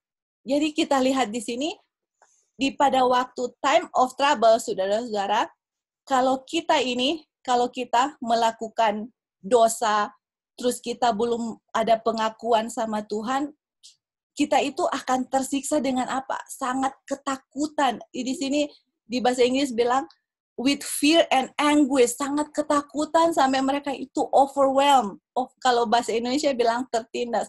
Overwhelmed itu kayak overwhelmed lah ya.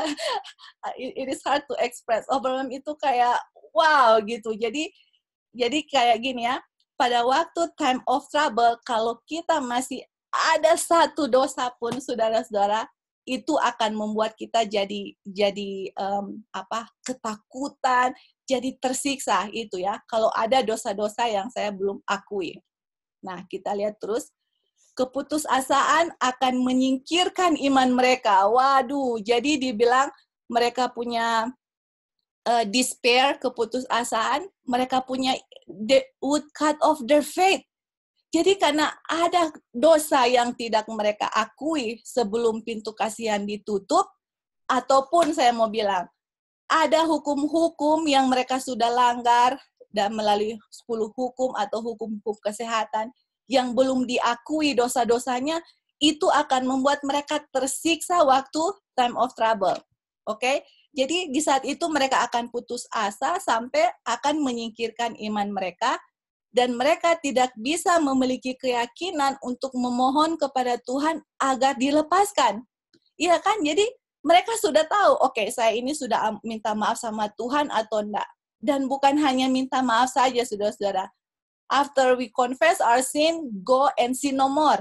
Kalau saya sudah melanggar hukum 10 hukum atau hukum-hukum kesehatan, Oke, okay, saya sudah tahu hukum kesehatan sudah diberikan kepada kita. Sekarang stop sinning kan? Karena bagaimana Tuhan mau mengampuni saya punya dosa, and yet kita continue to commit the same sin. Istilahnya bagaimana Tuhan mau ampuni, let's say saya berdosa.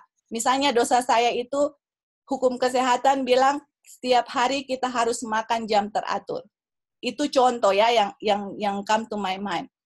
Tapi saya setiap hari makannya tidak teratur. Pagi makan pagi, sometimes jam 7, sometimes jam 10, sometimes jam 8. Padahal Ellen White bilang kita harus makan teratur. Nah, oke, okay, sekarang waktu di hukum kesehatan diberikan, oke, okay, kita makan teratur karena reasonnya begini, begini, begini. Saya sudah tahu itu saya melanggar. Tapi saya bilang, oke okay, Tuhan, ampuni saya punya dosa, sudah makan tidak teratur.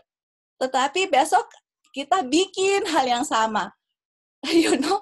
Jadi istilahnya bagaimana Tuhan mau ampuni kita punya dosa itu sedangkan kita melanggar-melanggar terus? Atau kalian atau saya name it whatever dalam kita punya kehidupan. Apa pelanggaran hukum kesehatan atau 10 hukum yang kita masih bikin yang kita belum minta maaf kepada Tuhan. Dan bukan minta maaf dan mohon ampun. Jangan bikin lagi saudara-saudara. Dan Ellen White bilang hanya dengan kebenaran Kristus tinggal dalam kita lah yang menyanggupkan kita untuk menurut akan hukum Taurat. Lanjut. Tetapi sementara mereka, nah ini sekarang berbicara terhadap orang-orang yang 104 fitmen ya. Tetapi sementara mereka yang memiliki perasaan yang mendalam tentang ketidaklayakan mereka, mereka tidak memiliki kesalahan tersembunyi untuk untuk diungkapkan dosa-dosa mereka telah diadili sebelumnya dan telah dihapuskan dan mereka tidak dapat membawa dalam pikiran mereka untuk diingat lagi. Oh, man. jadi saudara-saudara, ini untuk untuk fitman ya. Jadi untuk di zaman kita, di zaman kita sekarang dibilang waktu di time of trouble kita mau ingat, aduh apa ini kita punya dosa, you know. Padahal saudara-saudara tahu saudara sudah minta maaf ampun sama Tuhan, Tuhan sudah kasih ampun dan sudah saudara tidak melakukan lagi. Pada time of trouble kita mau ingat, aduh apa ya saya punya dosa, kita mau coba ingat-ingat itu tapi tapi di saat itu mereka kita lihat ya, di saat itu kita itu tidak merasa tidak layak di hadapan Tuhan. Tetapi kita tahu sebelum sebelum midnight di sini, sebelum midnight di sini sebelum pintu ditutup, saya sudah belajar hukum-hukum kesehatan karena Ellen White bilang kalau saya ignorant, saya tidak mau tahu akan bagaimana menjaga tubuh saya sehat dan sehat, itu Ellen White bilang ignorance dalam hal ini sudah dosa. Dan saya bilang, Tuhan saya tidak ignorance. Saya sudah belajar, ada Bible study, kasih mengenai hukum kesehatan, mengenai fisiologi, bagaimana mencegah penyakit, cara pengobatannya, mengenai dengan natural remedies. Saya sudah, saya tahu saya sudah bikin itu.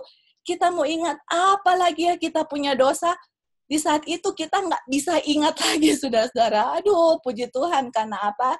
Itu sudah apa dibilang mereka tidak dapat membawa lagi pikiran mereka untuk diingat lagi karena itu sudah dihapuskan. Oke, sudah kita tidak ingat lagi, kita sudah tidak bisa lagi, ingat kita punya dosa di time of trouble. Nah, terus kita lanjut. Hal itu akan menjadi pengalaman umat Tuhan dalam perjuangan terakhir. Oke, okay, kalau kita lihat di sini, dia bilang, such will be the experience of God's people in their final struggle. Atau mereka punya war, kan, peperangan dengan apa?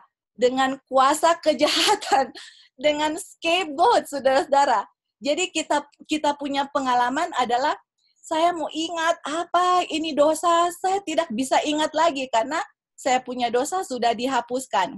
Nah, continue. Nah, nah, bagaimana dan sekarang in the time of trouble di sini apa itu apa dan yang itu struggle dari fitman? First of all, dia itu sudah tidak ada dosa lagi, oke? Okay? Karena dia itu sudah disilkan, sudah tidak ada dosa lagi. Mau diingat-ingat dia punya dosa sudah tidak ada lagi. Nah, apa yang apa yang dibilang di sini yang waktu fitman itu bahwa itu kambing asasel. Kita lihat di sini. Tuhan, oke, okay, Tuhan akan menguji iman mereka. What? Tuhan mau uji, bukankah Tuhan sudah uji kita punya iman dari sini, ternyata saudara-saudara, di time of trouble saya punya iman juga masih diuji. Kita lihat ya. God will test their faith. Tuhan akan menguji iman mereka, ketekunan mereka, kepercayaan mereka kepada kekuatannya untuk membebaskan mereka. Wow.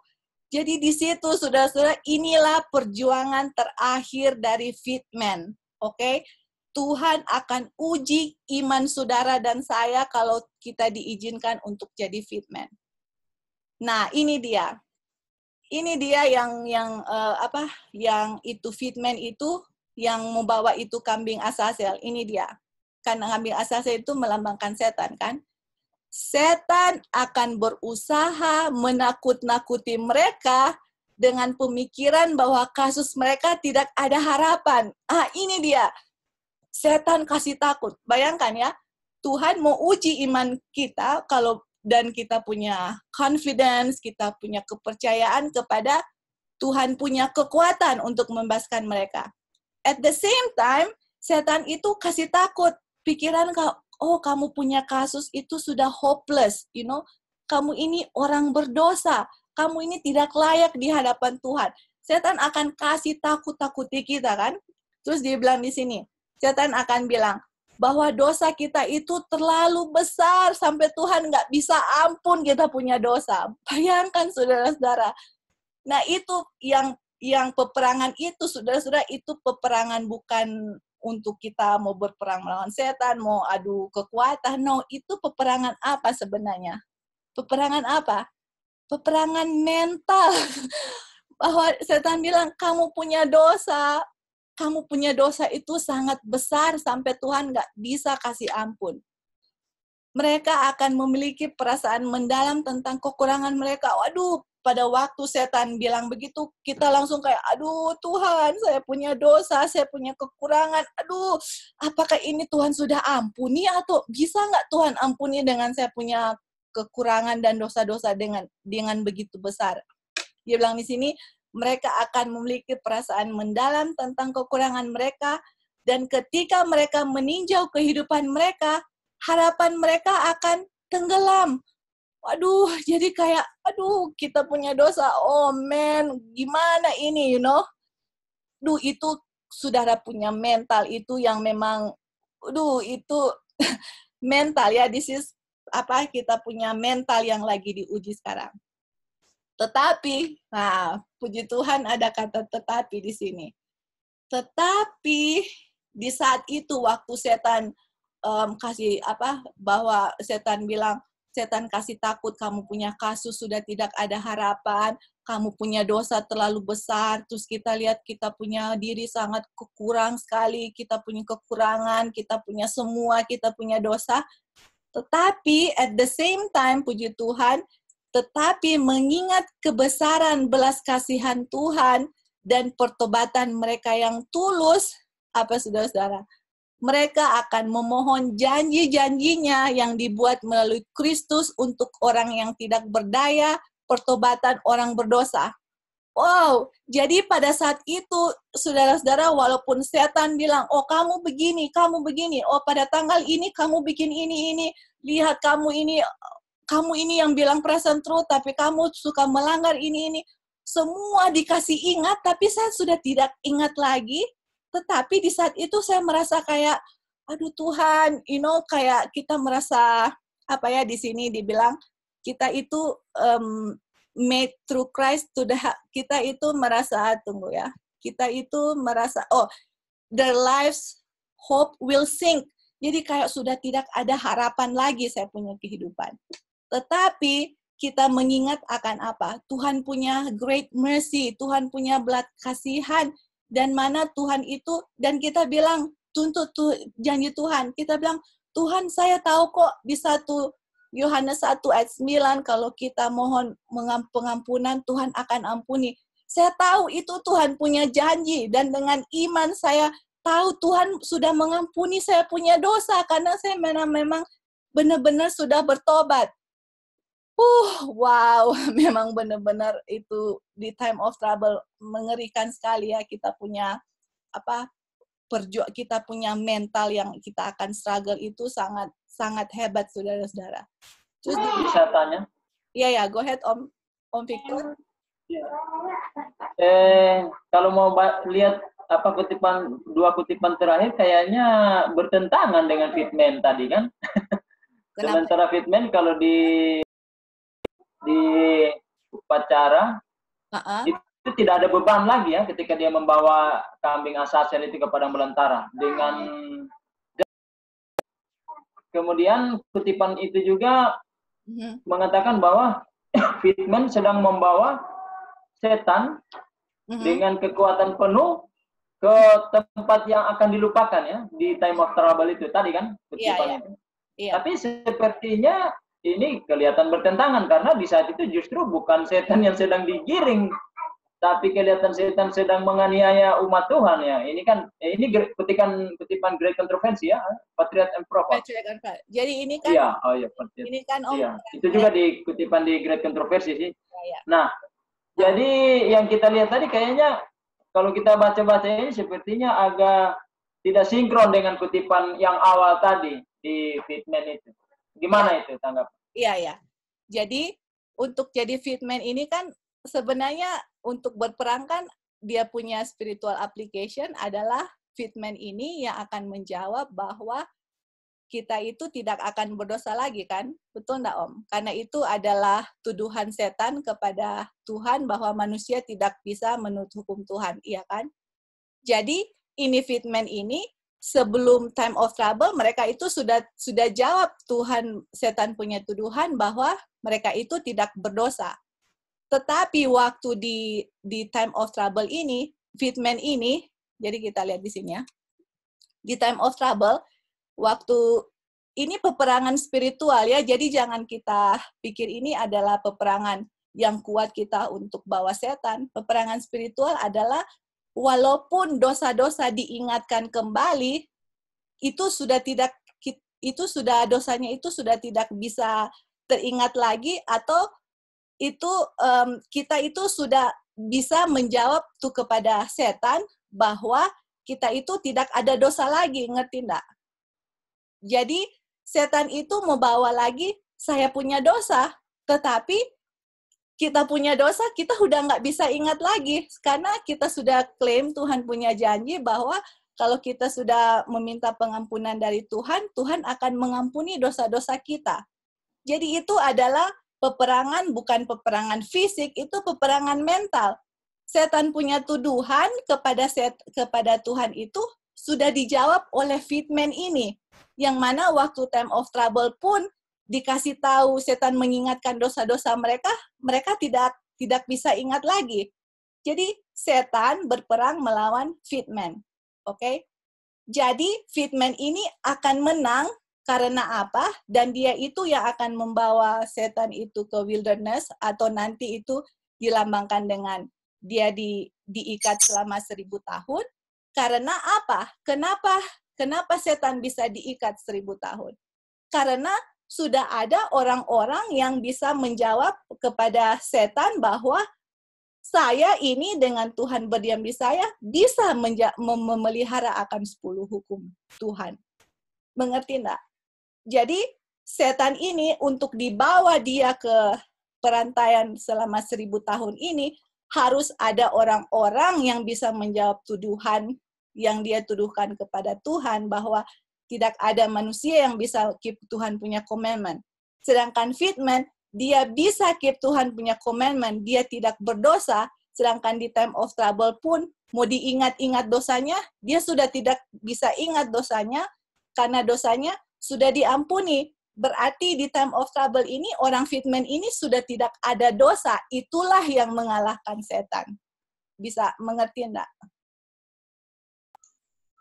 Uh, sister, uh, saya tambahkan sedikit, sister ya. Ya, ya. go ahead, Om. Oke, okay, jadi uh, kenapa fitman ini waktu di istilahnya waktu diberitahukan oleh setan seolah-olah mereka mempunyai dosa yang sangat besar. Ya kita ingat karena uh, pada saat itu roh Tuhan sudah ditarik, jadi uh, dibiarkan umat-umat itu mempertahankan sendiri imannya dan juga uh, yang tadi. Jadi uh. karena apa? Karena kita sebagai manusia kan uh-huh. kita bisa percaya bahwa dosa-dosa kita sudah diampuni oleh karena roh Tuhan kan itu kan.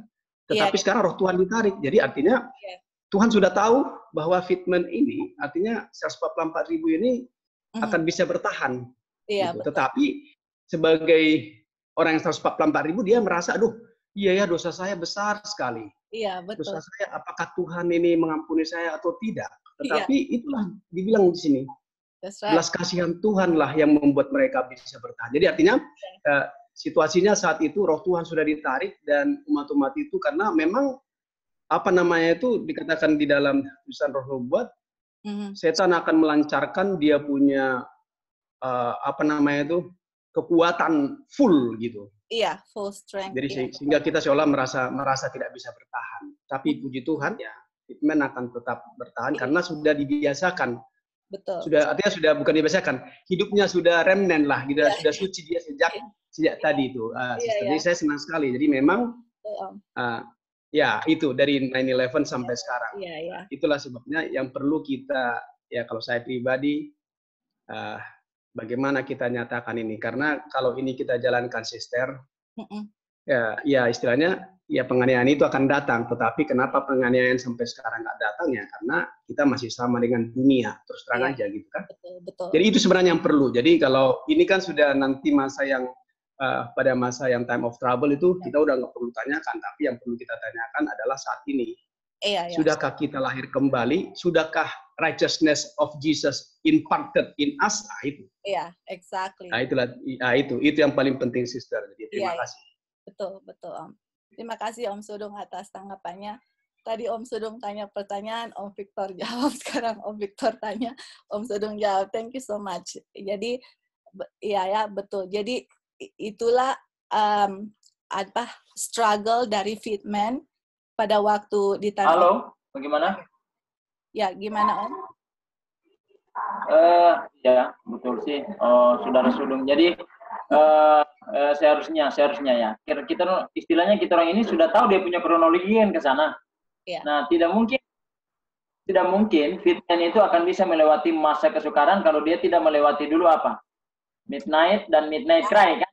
Itu dia. Seharusnya kita sudah tahu kan? Seharusnya kan kita sudah tahu.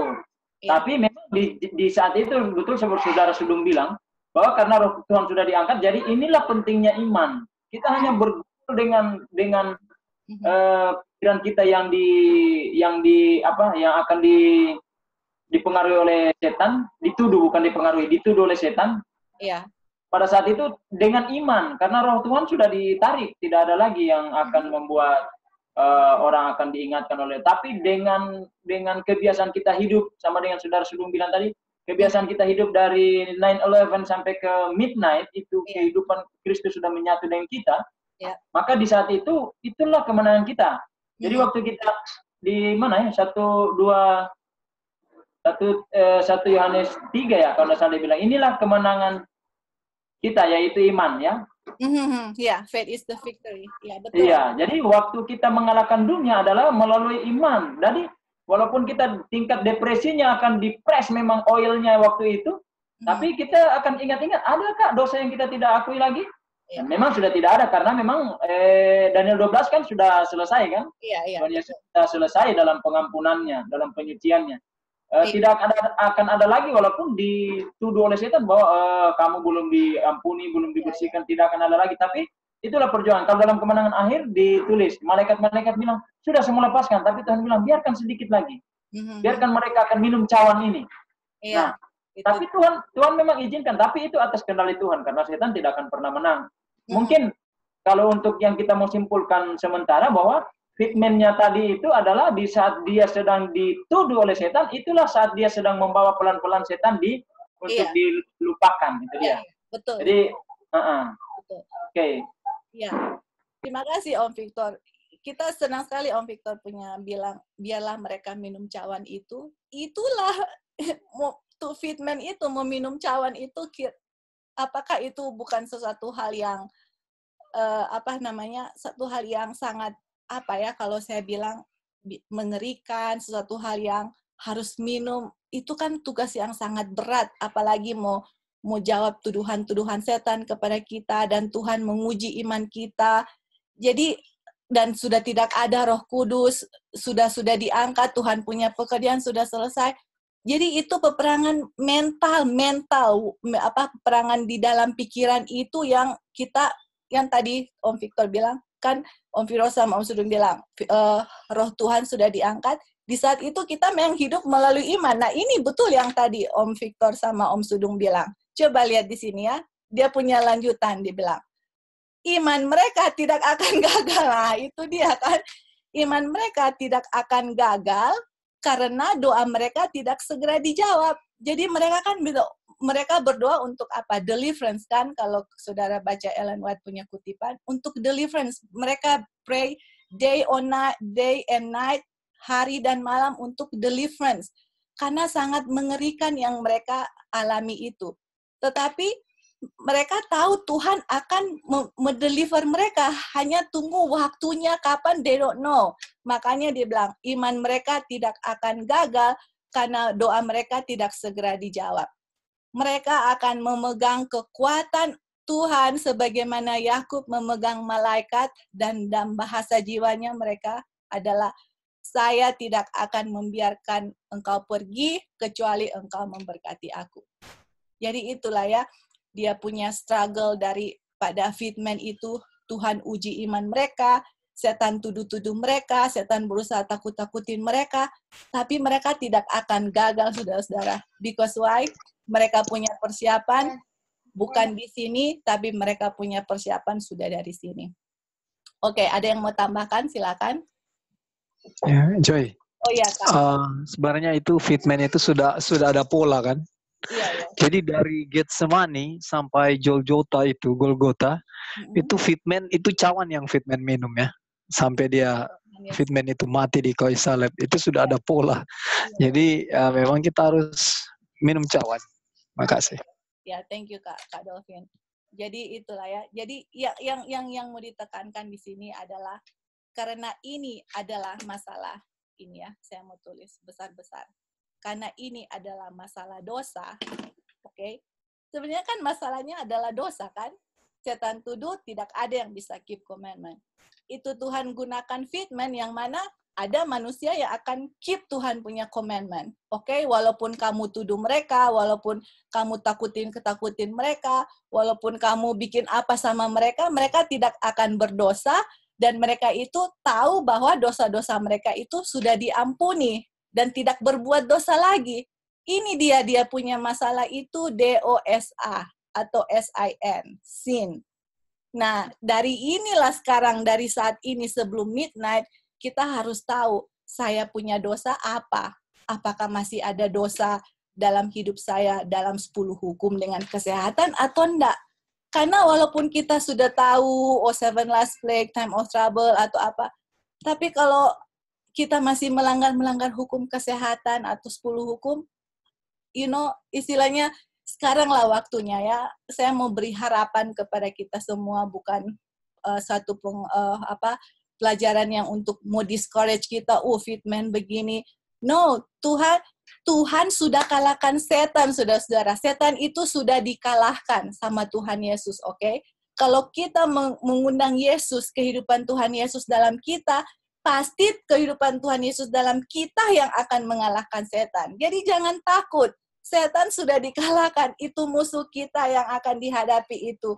Dari sekarang sampai time of trouble itu sudah kalah sebenarnya. Yang penting kita intinya adalah saya tetap mengundang Tuhan Yesus diam di dalam kita untuk melakukan obedience di dalam kita. Itu sebenarnya inti dari pelajaran kita ya pada malam ini. Oke, okay. kita lanjutkan di sini. Um, nah, ini dia. Ah, ini ini dia punya dia punya apa? Dua kutipan terakhir ya. Ini dia punya kalau saya bilang dia punya kutipan untuk uh, application-nya, untuk kutipan application dari kita punya pembahasan malam ini. Oke? Okay? Oke, okay, ini dia ya. Jadi kita lihat di sini bahwa di time of trouble ini sudah tidak ada dosa lagi. Fitman ini sudah terbentuk dari midnight sudah ada fitman yang mana tidak ada orang lagi berdosa dan di sini ini walaupun setan bikin apa, walaupun apa yang terjadi di sini, Fitman ini tetap bergantung kepada Tuhan sebagai kekuatannya, sebagaimana Yakub, dan dia tidak akan melepaskan atau dia tahu janji-janji Tuhan itu pasti. Makanya di time of trouble itu iman mereka itu tidak gagal. Oke, okay? nah sekarang kita baca ya ini kutipannya. Coba kita, ini dia punya daily application right now. Setan membuat banyak orang percaya bahwa Tuhan akan mengabaikan ketidaksetiaan mereka dalam urusan-urusan kecil kehidupan. Oke, jadi setan mau bikin apa? setan mau bikin saudara dan saya percaya bahwa oke okay, you know what masa sih cuman makan tidak teratur kamu berdosa? Masa sih cuman makan tidak ini ini contoh ya saya mau kasih contoh. Masa sih cuman makan tidak teratur setiap hari kamu itu tidak uh, bisa menjadi fitman jadi setan membuat kita ini percaya bahwa kalau cuman hal-hal sepele itu Tuhan akan abaikan. Ngerti nggak? Kayak setan ini bikin uh, masih ingat itu Adam dan Hawa masa sih hanya makan buah itu setan mau apa Tuhan mau mau panis? Jadi dia akan membuat kita percaya oh um, kalau makan sebelum lima jam masa sih cuman makan satu kacang aja itu nggak boleh sih? Iya kan? Itu hanya hanya satu contoh ya. Kalian bisa bikin contoh apa saja dalam kita punya kehidupan sehari-hari. Setan membuat kita percaya bahwa kalau cuman hal-hal kecil itu, Tuhan itu akan abaikan kita punya ketidakpenurutan. Waduh, tetapi saudara-saudara Tuhan menunjukkan dalam hubungannya dengan Yakub bahwa dia tidak akan memberikan sanksi atau mentolerir, mentolerir kejahatan. Lihat di sini, bahwa dalam hukum kesehatan pun saudara-saudara walaupun hanya kecil-kecil tapi namanya itu hukum, Tuhan tidak ada toleransi terhadap kejahatan, oke? Okay? Tuhan tidak tolerate evil. Itu kan dia bilang, tapi Tuhan menunjukkan dengan dia punya dealing dengan Jacob, waktu ini kan Jacob trouble, kalau Tuhan itu tidak tolerir dengan kejahatan walaupun urusan kecil-kecil dalam kita punya kehidupan. Mau urusan bisnis kah, mau turut 10 hukum kah, mau kesehatan kah, namanya melanggar hukum Tuhan walaupun kita anggap kecil itu pelanggaran akan hukum Tuhan. Tuhan tidak ada toleransi itu ya. Terus dibilang semua orang yang berusaha untuk berdalih atau menyembunyikan dosa-dosa mereka dan mengizinkan mereka untuk tetap berada di dalam buku-buku catatan di surga, tidak akui, tidak diampuni, atau di sini akan dikalahkan oleh setan atau itu scapegoat. Jadi kalau orang, kalau misalnya kita berusaha untuk menyembunyikan kita punya dosa, atau kita tetap tidak mau mengampuni saya punya dosa, sudah tahu ini salah melanggar 10 hukum atau hukum kesehatan, kita anggap remeh, itu akan dikalahkan oleh setan, saudara-saudara. Jadi kalau kalau saya dikalahkan oleh setan, saya tidak bisa menjadi fitman di sini.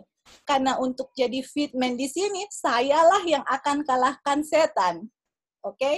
Saya yang akan overcome Satan. Tetapi kalau saya punya kehidupan dalam hal-hal kecil mengenai kita punya penurutan saya anggap remeh, setan akan kalahkan kita, berarti you and me cannot be a fit man kalau setan akan kalahkan kita. Oke, okay, terus semakin tinggi profesi mereka dan semakin terhormat posisi yang mereka pegang, semakin menyedihkan kasus mereka di hadapan Tuhan, dan semakin yakin kemenangan musuh besar atas mereka.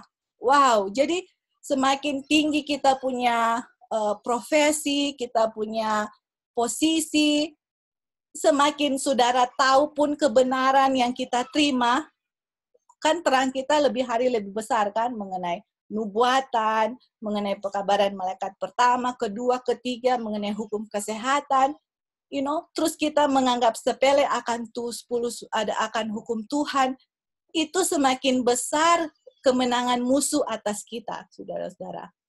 Dan mereka, kita lihat di sini, dan mereka yang menunda persiapan untuk hari Tuhan tidak dapat memperolehnya pada masa kesukaran atau pada peristiwa berikutnya. Kasus mereka semua tidak ada harapan. Jadi saudara-saudara dibilang, kalau saya tidak ada persiapan di sini, saya punya kasus hopeless karena Tuhan tidak bisa menggunakan saudara dan saya untuk jadi fitman di sini. Di sini saya sudah di overcome oleh Satan. Ngapain Tuhan mau menggunakan di sini kalau di sini saja saya sudah di overcome oleh setan? Karena apa? saya dan saya atau saudara menganggap enteng hal-hal kecil. Ah, cuman ini kok. Ah, cuman ini kok. Ellen White bilang kita nggak boleh makan banyak atau makanan yang uh, apa full meal sebelum sebelum bedtime. Kalau malam pun makan ketiga saya hanya makanan yang ringan, buah-buah dengan roti. Ah, itu cuman begitu kok, you know. Makanya dia bilang, jangan saudara dan saya anggap enteng walaupun kelihatannya sangat kecil. Namanya pelanggaran-pelanggaran. Ellen White bilang Tuhan tidak pernah mentolerir, mentolerir itu kejahatan. Dan itulah yang dia kasih pelajaran di mana kepada Yakub kan in Jacob's trouble Tuhan tidak tolerir.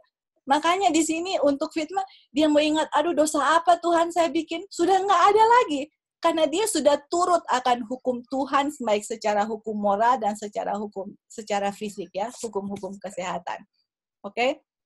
Terus dia bilang di sini jangan tunda persiapan saudara-saudara ini mengingatkan kita akan kutipan Ellen White dia bilang ada orang-orang yang menunda-nunda untuk mendapatkan oil atau karakter Yesus sebelum midnight.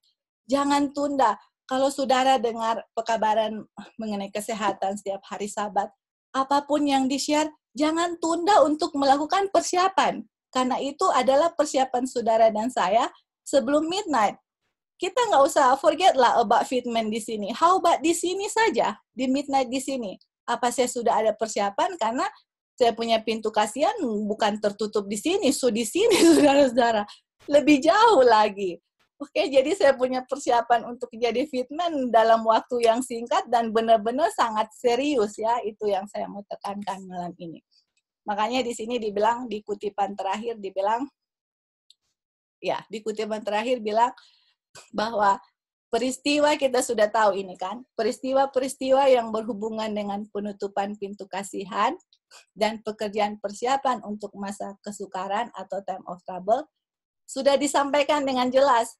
Sudah jelas saudara-saudara apa yang akan terjadi di time of trouble, pekerjaan persiapan itu apa, yaitu uh, penurutan akan hukum Tuhan, 10 hukum dengan hukum kesehatan, sudah jelas.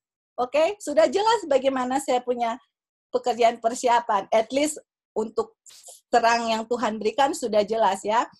Tetapi banyak orang tidak memiliki pengertian tentang kebenaran yang penting ini, seakan-akan tidak pernah diungkapkan.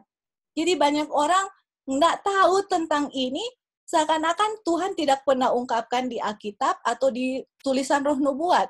Alkitab dan roh nubuat sudah jelas sekali bagaimana pekerjaan persiapan, apa semua sudah dikasih tahu. Setan mengawasi untuk mengambil setiap impresi yang akan membuat mereka bijaksana untuk keselamatan. Jadi tugas setan adalah, oke, okay, malam saat ini, hari sabat ini, Joy sudah present mengenai fitman. Oke, okay, bagaimana untuk menjadi fitman. Tetapi pas hari sabat selesai, sudah, saudara atau siapa saja yang tidak membuat Tuhan Yesus diam di dalam kita, melakukan seakan-akan pelajaran ini tidak pernah disampaikan, seakan-akan tidak pernah ada tahu hukum kesehatan, melakukan acara bebas, sebebas-bebas mungkin yang seakan-akan tidak pernah tahu akan kebenaran. Ini tugas setan untuk ambil semua impresi yang membuat kita bijaksana untuk keselamatan. Dan ingat, pada waktu masa kesukaran, time of trouble, mereka itu tidak akan siap. Waduh, wow, jadi saya punya undangan kepada kita semua. Kita punya harapan, saya punya doa kepada saudara dan saya bahwa kita mohon Tuhan lagi bermohon kepada kita saudara-saudara bahwa inilah saatnya saudara-saudara untuk membuat pekerjaan persiapan. Apa yang harus kita siapkan sekarang, we have to prepare right now. Ellen White nggak sanggup lihat time of trouble. Daniel bilang tidak ada itu time of trouble seperti tidak ada seperti itu. Yeremia bilang celaka, semua muka pucat. Kalau nabi-nabi saja sudah bilang begitu, saudara-saudara, terus saya dan saudara anggap enteng di sini seakan-akan anggap sepele, aduh, nggak akan bisa kita jadi fitman. Orang fitman itu adalah orang yang serius, mereka tahu apa tugas mereka. Oke, dan mudah-mudahan pada malam ini dengan bantuan Roh Kudus yang akan memberi impresi kepada saudara dan saya betapa pentingnya saudara dan saya mengetahui akan hukum-hukum Tuhan, termasuk hukum-hukum kesehatan, karena ini kan ada pelajaran kesehatan. Jadi mulai dari sekarang, setiap hari sabat, waktu kita belajar kesehatan, mengenai fisiologi, atau hukum-hukum kesehatan, atau penyakit, cara pencegahan, mudah-mudahan dengan pelajaran ini membuat satu impresi di hadapan saudara-saudara bahwa ini adalah pelajaran yang sangat penting untuk kita semua ingat bahwa ini bukan pelajaran yang main-main atau pelajaran yang hanya mengisi waktu. Ini adalah hubungan dengan kita punya keselamatan. Dan ini ada hubungan dengan menjawab tuduhan setan kepada Tuhan bahwa tidak ada manusia yang bisa keep God's commandment, tetapi orang-orang yang fit man, 144,000 remnant, bisa menjawab bahwa akan ada orang yang bisa keep Tuhan punya komitmen.